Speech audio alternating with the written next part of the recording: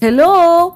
Welcome to Naira blogs ఈ blog ఏంటంటే మొన్న మేము వెమ్లవాడ వెళ్ళాము పని పైన. అక్కడ పని అయిపోయిన తర్వాత మేము మళ్ళీ రిటర్న్ వస్తున్నప్పుడు కొద్దిపాక దగ్గర ఆగాము. అక్కడ మిడ్ మ్యానర్ బ్రిడ్జ్ ఉంటుంది కదా. అక్కడ ఏంటంటే మనకు చాలా ఫ్రెష్ ఫిషెస్ దొరుకుతాయి. అప్పుడే పట్టేసినవన్నీ అక్కడ అమ్ముతూ ఉంటారు. మేము అక్కడ ఆగాము ఫిషెస్ తీసుకుందామని. ఇక్కడ మేము ఫిషెస్ చూస్తున్నాము ఏమేమి ఉన్నాయా అని. అయితే ఇది పాపెరా అంట.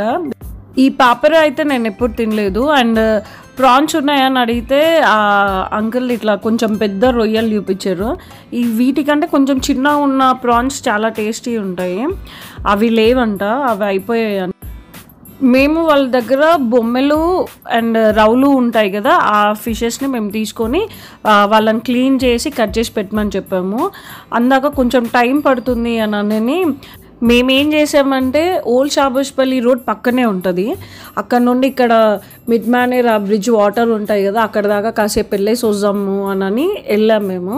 అక్కడ ఏంటంటే అప్పటికే వాటర్ మొత్తం చాలా తగ్గిపోయింది. అప్ప లేకుంటే అంత ముందులా ఉంటే అసలు మాకు వెళ్ళడానికి కూడా రాపోతుండే. వాటర్ చాలా తగ్గిపోయింది. అండ్ మేము వెళ్ళిన డేనే అప్పుడే ఇట్లా వాటర్ ఫ్లో అంటే మళ్ళీ వాటర్ వదిలారంట మిడ్ మానేర్కి. అప్పుడే కొంచెం కొంచెం ఇట్లా వాటర్ ఇంక్రీజ్ అవుతున్నాయి.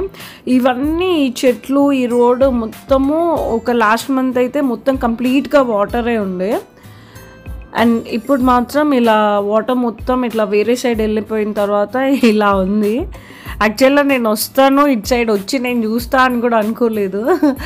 ఏదో నేను ఇట్లా క్యాషువల్గా మా బాబాయ్ని ఇక్కడ వాటర్ దగ్గరికి వెళ్ళి చూస్తే బాగుండు ఒకసారి వెళ్దాము అని అని అంటే మా బాబాయ్ నిజంగానే వెళ్దాం పా మమ్మీ అక్కడ ఇక్కడనే దగ్గరే ఒకసారి చూస్తా అని అంటున్నావు కదా వెళ్ళి చూసాం పా అని మా బాబాయ్ తీసుకెళ్ళింది. ఎందుకంటే నాకు ఎందుకో ఇట్లాంటి ఎవరు లేని ప్లేసెస్కి వెళ్ళాలంటే చాలా భయం.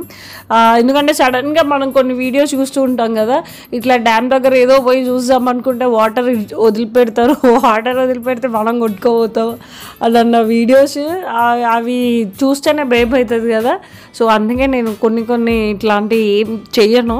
కాకపోతే అప్పుడు మా బాబాయ్ వాళ్ళు ఉండే కాబట్టి ఇట్లా అటు వెళ్ళేసి ఒక మళ్ళీ ఒక ఫైవ్ టెన్ మినిట్స్లోనే మళ్ళీ ఇటు రిటర్న్ అయిపోయాము మేము రోడ్ సైడ్ మేమే వెళ్ళాం అనుకున్నాము. కాకపోతే అటు సైడ్ ఇంకా వేరే ఫ్యామిలీస్ వాళ్ళు ఎవరో ఆటోలో వచ్చారు. అండ్ బైక్ పైన కూడా కొంతమంది వచ్చిండే. సో నాకైతే అప్పుడు కొంచెం రిలాక్స్ అనిపించింది. ఎందుకంటే ఇట్లాంటి నేను అడ్వెంచర్లకు చాలా దూరంగా ఉంటా. అండ్ ఇవన్నీ నేను లాస్ట్ నా వెమ్లవాడ ట్రిప్ అప్పుడు మీకు వీడియో చూపించినప్పుడు ఇవన్నీ కంప్లీట్గా వాటర్ ఉండే. అప్పుడైతే బ్రిడ్జ్ పైన నిల్చొని ఇట్లా కింద వాటర్ని చూస్తూ ఉంటే నాకైతే కళ్ళు తిరిగినట్టు అనిపిస్తుండే. అంటే ఆ ఫ్లో అంత పెద్దగా ఉంటుండే ఇట్లా అంత మొత్తం ఓవరాల్ వాటర్ ఉండేసరికి ఆ ఫీలింగ్ ఉంటుండే నాకు అప్పుడు ఇప్పుడు ఎలా అలా ఇట్లా వచ్చేసాము ఇక్కడ వాటర్ దగ్గరికి. మా వాళ్ళందరూ ముందు ఇట్లా వెళ్తున్నారు వాటర్ దగ్గరికి. నేను మెల్లిగా వెళ్తున్నాను అక్కడ వెళ్ళిన తర్వాత మాదొక చిన్న ఆడియో క్లిప్ ఒక జోక్ వినిపిస్తాను. మీరు వినండి వెళ్ళిపోదాం కదా కొంచెం రమేష్ ఇప్పుడు వెయ్యి రూపాయలు ఇస్తా ఆ ఒడ్డుకు పోతే నీ వెయ్యి రూపాయలకు ఆ ఒడ్డు కొమ్మంటాను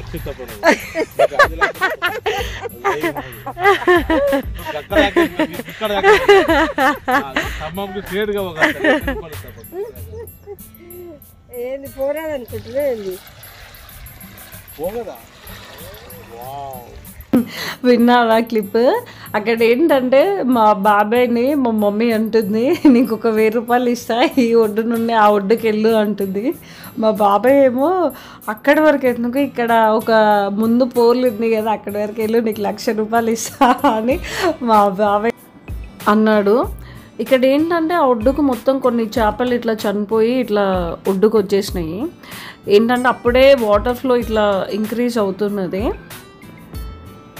మా బాబాయ్ ఏంటంటే కొంచెం ముందుకెళ్ళి ఇవి మన గంగ వాటర్ ఇవి ఇట్లా ఇట్లా జల్లుకోవాలి అని మా బాబాయ్ అంటుంటే మా మమ్మీ ఏంటి వెయ్యి రూపాయలకు అంత ముందుకు వెళ్తున్నావా అని మా మమ్మీ అంటుండే. అక్కడికి వెళ్ళినప్పుడు మాత్రం చాలా ప్రశాంతంగా ఉండే. అంటే క్లైమేట్ కూడా మంచి క్లౌడీ క్లౌడీ ఉండే. అండ్ చుట్టుపక్కల ఎవరు లేరు కదా. పాపం అక్కడ అన్ని ఊర్లన్నీ ఖాళీ చేశారు కదా. సో ఎలా అంటే అంత కామ్గా ఉండే మొత్తం ఏరియా మొత్తం. అండ్ ఇక్కడ ఏంటంటే మన ఓల్డ్ చాబాష్పల్లి ఇది బ్రిడ్జ్ ఈ బ్రిడ్జ్ సైడ్ నుండి వెళ్తుంటే మనకి అక్కడ గుడి కనిపిస్తుంది కదా. అక్కడ గుడి.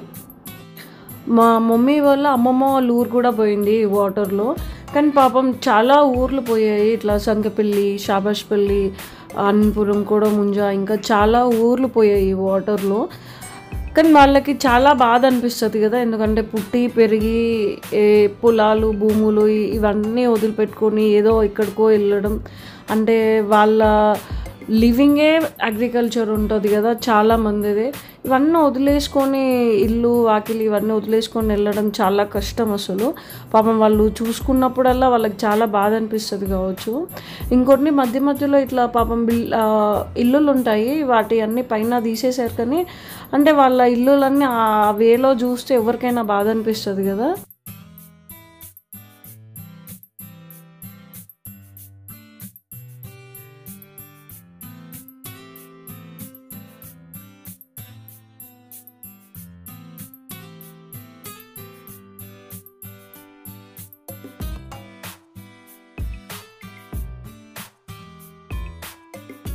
ఒక ఫైవ్ టెన్ మినిట్స్ తర్వాత మేము అక్కడ నుండి మళ్ళీ రిటర్న్ అయిపోయాము. అంటే డాడీ ఆ చేపల అతని దగ్గరనే ఉండే. ఆయన క్లీన్ చేస్తున్నారని. అక్కడ నుండి ఇంకా వెనక్కి స్టార్ట్ అయిపోయాం మేము.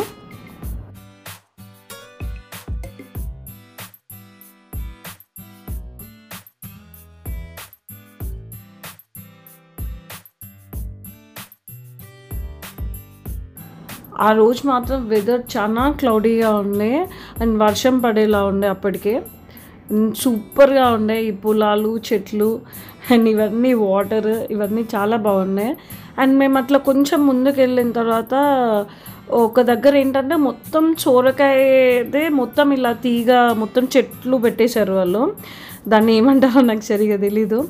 అక్కడ బ్లూ షర్ట్ వేసుకొని కనిపించారా ఆ తాతయ్యది. నేను అడిగాను తెంపుకోవచ్చా తాతయ్య? అని అడిగాను. తను తెంపుకోమని అన్నాడు. సో అప్పుడు మా బాబాయ్ కిరణ్ బాబాయ్ అండ్ రమేష్ బాబాయ్ ఇద్దరు దిగి సోరకాయలు దింపారు ఆ సోరకాయలు కూడా చాలా లేతవి. అంటే మనకు మార్కెట్లో అంత ఫ్రెష్ దొరకవు కావచ్చు నాకు తెలిసి. అంత లేత సోరకాయలు. అండ్ ఇవి కొన్ని స్వీట్స్ అండ్ ఏమన్నా సాంబార్ చేసుకుంటే సూరికాయ సాంబార్ చేసుకుంటే సూపర్గా ఉంటుంది కదా. కొన్ని ఎక్కువనే దింపేసుకున్నాం మేమైతే.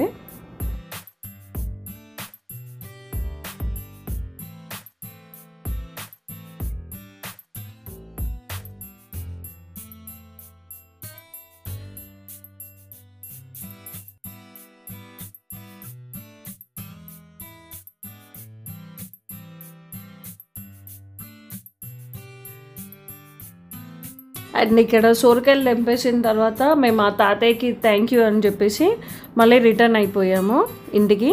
అండ్ ఇంటికి రాగానే నాకు వాటిని చూడంగానే ఇట్లా కద్దుగా కీర్ చేయాలి అని నన్ను అనిపించింది సొరకాయలు. అంత ఫ్రెష్గా ఉన్నాయి.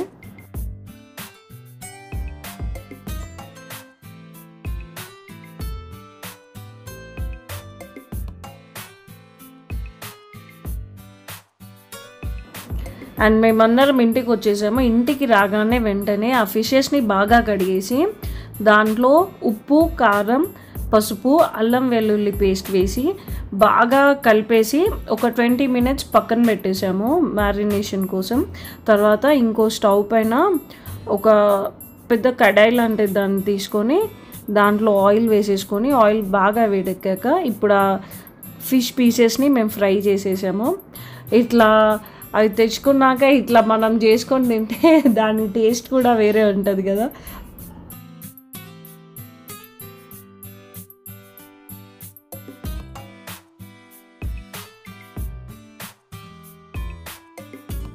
ఇలా మనం డీప్ ఫ్రై చేస్తున్నప్పుడు మనము ఫ్లేమ్ని సిమ్లో పెట్టేసుకొని ఫ్రై చేస్తే అప్పుడు లోపల కూడా బాగా బాయిల్ అవుతుంది. అండ్ ఇలా మేము తెచ్చుకున్న ఫిషెస్ని ఫ్రై చేసేసుకున్నాము. అండ్ అలా ఫ్రై చేసుకున్న తర్వాత పైనుండి మేము కొంచెం కారం కొంచెం నిమ్మరసం ఇట్లా పిండేసుకున్నాము. అప్పుడు ఆ ఫ్లేవర్ మాత్రం సూపర్గా ఉండే ఇంకా. అండ్ నేను నా సోరకాయలు తీసుకొచ్చాను కదా వెంటనే కద్దుకా కీర్ కూడా ప్రిపేర్ చేశాను.